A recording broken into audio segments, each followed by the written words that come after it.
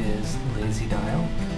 Um, it will dial your phone for you when you get your business card or some other phone number. So this is a business card with two phone numbers on it, and depending on uh, a whole host of factors, it finds text, it finds letters, and wait for the image to focus. To do in reverse. And once it decodes a number, it will pop up a little thing and offer to call for you. Yay! But since I don't actually want to call right now, I'll end.